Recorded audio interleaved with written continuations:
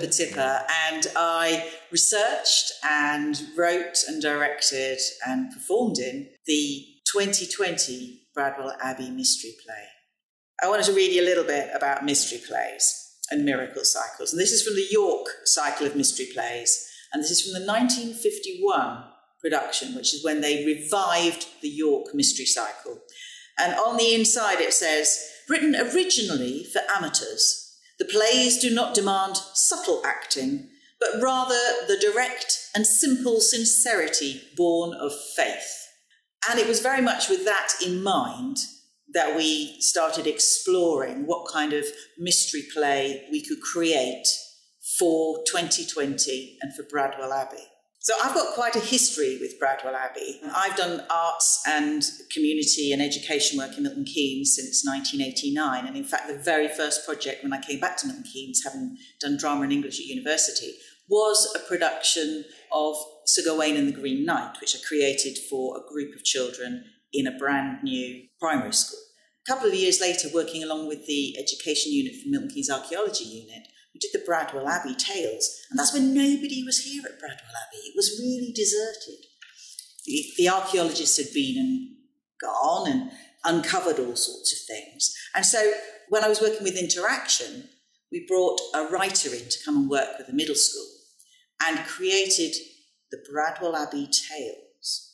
And it's a, it's a wonderful um, set of stories, Miller's Tale, Baker's Tale, Blacksmith's Tale, which was very much kind of springboarded from Chaucer's Canterbury Tales, but their own versions, and exploring the seven deadly sins. And I have to say, as middle school children, they were very into death and killing and lust, which was quite interesting. From that, we spring forward. And um, I have always been interested in the medieval period and the Luttrell Village by Sheila Sancha, which is a wonderful set of stories based on the different drawings that are actually in the wonderful illuminated manuscript of the Luttrell Psalter.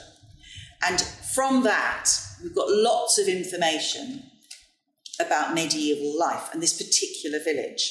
And I remember age 12 reading Knight After Knight, which is another book by Sheila Sancha, which has just brought that period to life.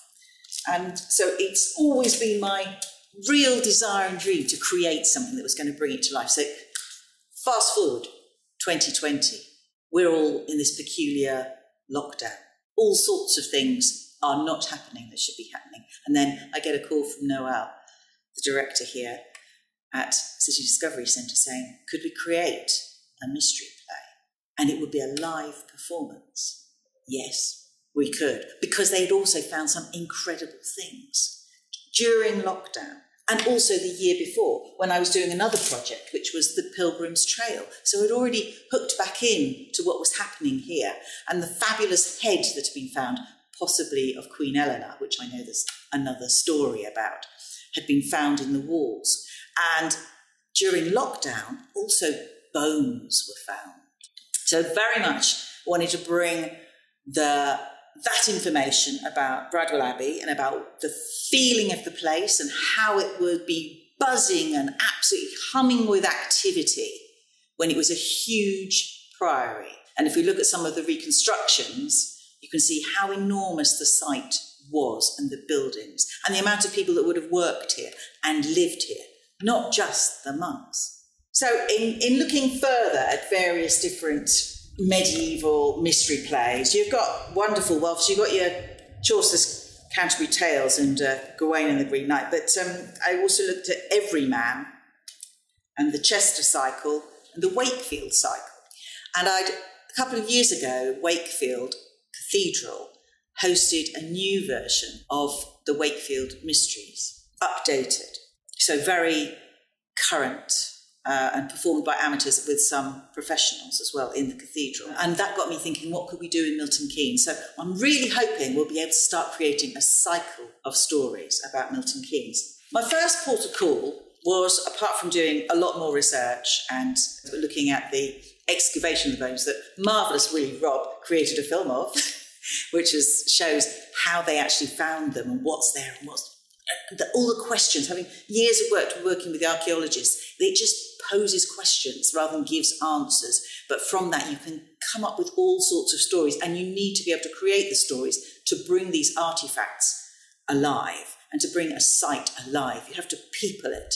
So, uh, first of all, I got a whole load of people who I knew in the area who'd be interested and asked them to come and share some of their experiences. First of all, of the site, I introduced them to the site and talked about it and whether they knew anything or not, and then also their experiences of lockdown. What were they doing differently? How were they exploring things? We came up after that with a series of stories, which was always my aim three stories that we could put together with an umbrella arching story with our Bradwell Abbey players invading Bradwell Abbey to perform. It wasn't strictly medieval. We didn't do it in rhyming couplets, but we tried to do a different feel for each story that was there. And the stories were very much about exploring the seven deadly sins, which we were represented with our cloaks, which had not only medieval images but also 21st century images on there, certainly the coronavirus. And we were telling our own plague stories because a lot of the medieval stories and the, the mystery cycles, they reflected the stories of the, the people that were there uh, and their lifetimes. And I think I've just got another little bit I want to read. The purpose of the plays was to give in dramatic form a summary of religious instruction from the creation of the world to the Last Judgment. They were intended to be performed in a medieval manner, open stages, and each play was generally given to a guild. They were the guilds of the various different professions. So there would have been the Carpenters Guild, the Brewers Guild, and so forth. So uh, I've talked about the York cycle, Wakefield cycle, Chester cycle. These were a set, sets of plays that were very much looking at instructing and informing with the, the good religious background and ethics um, the, the masses. And the church supported these performances and these plays. And they were quite crude. They were quite rude. There was buffoonery, but there was also gravitas as well. So, in creating uh, a style and a feel for our 2020 play, I wanted to make sure we were able to bring the fun and the joy and the over the top performance almost it's almost coarse acting but uh, it also links to uh, Commedia dell'arte, which is outdoor performance. It's a beautiful stylized style of performance that comes from Italy with the masks. And I was looking at all of the elements that we needed to put together. So we needed to have the religious instruction or the good morals, looking at behavior and how we can do things, also reflecting what's going on in our current environment and our current situation.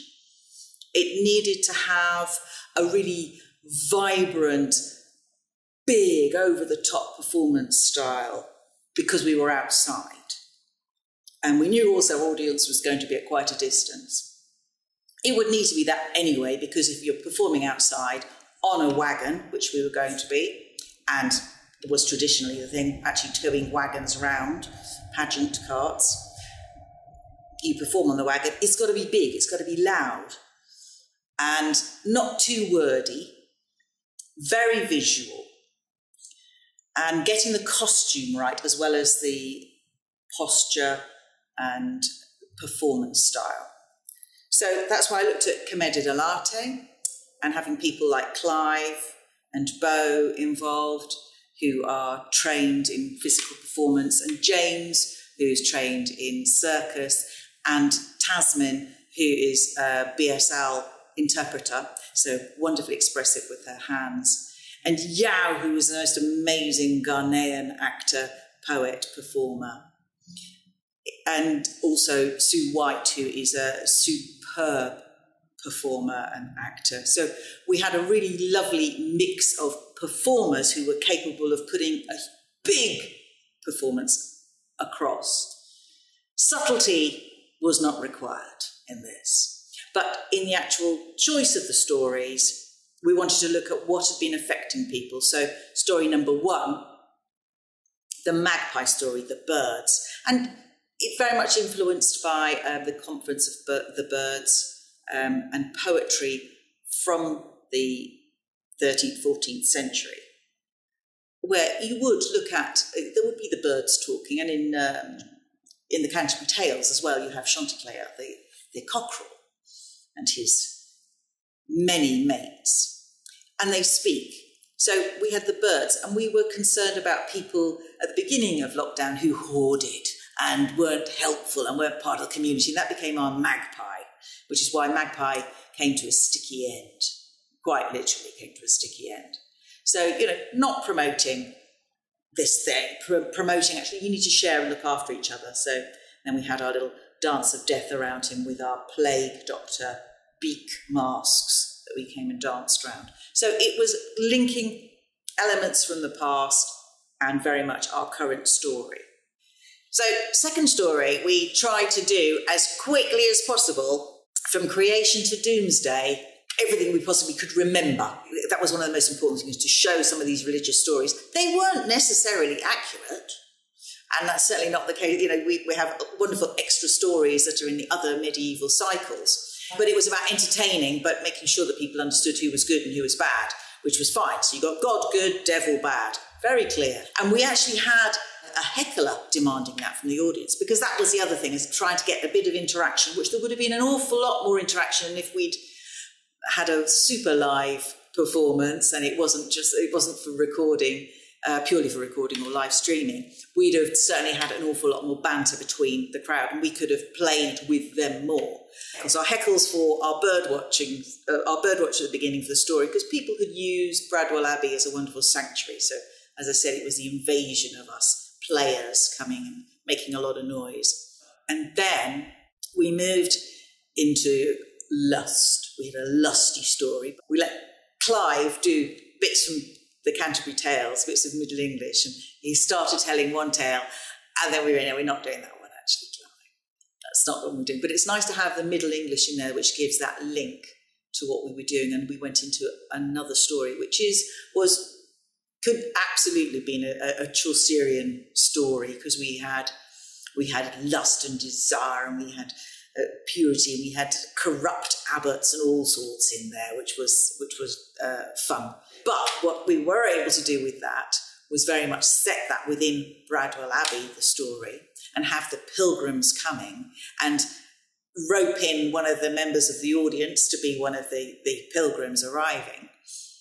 And set our own medieval bake-off because we have the medieval ba- bakery here and uh, we have the greedy, lusty abbot who just wants to eat, eat, eat, eat, eat. And we set a challenge then to make an effigy of the wealthy lady who was going to donate money. And that's how we then ended up with the bread head of Eleanor, which was the, the stone. We don't know if it's the stone head of, of Queen Eleanor, it might well be. It's just the most wonderful find. It's a superb piece of medieval carving, so it has to be in a story somewhere. And then the other thing, because our wonderful, greedy abbot, of course, we had to have him explode in good Chaucerian style with another wafer thin mint and uh, very Monty Python getting in there as well and he exploded all over the place and died. And of course, which links then to the bones that were only uncovered recently during lockdown. So, trying to make these links with a, a, fun story which hopefully brings together, brings to life the characters who would have come and visited here, would have been living here, but also explaining about the chapel and the fact that it was built around this wonderful, miraculous statue that was in the back of the church, a niche. And then to make more money, whereas we had it, the wealthy lady donated money to have that chapel built so that the pilgrims had somewhere to go to and the abbey could make more money. Along with that, we needed music. You've got to have music. And uh, we had some wonderful set of musicians who similarly worked with medieval tunes. So we sang some of the oldest tunes. As summer is coming in, one of the oldest written down tunes that we have archived. And then mixing that with the coffin dance, which has been a 2020 YouTube viral sensation. And we have our own medieval version of that that we, we sing and dance to as well. And then we had original pieces as well, which gave told some of the story, gave us the introduction about the pilgrims. I felt it, it, it had a, a, a, the right kind of feel, a fun feel, the, but a medieval feel, but getting that information across. My other real inspiration. This is Marcia Williams, who I adore her work. She takes classics and she distills them into these wonderful storybook versions. And my aim was to try and capture the feel that she creates in these, which you've got all sorts of little asides happening. You've got the, the real story. She works, she's got some of the, the Chaucerian Middle English, and then their own language and the way that people comment on things. And for me, that's exactly what happens when you do live performance, street theatre, medieval play, and it's about how you can bring that alive and link it with all of these elements from the past.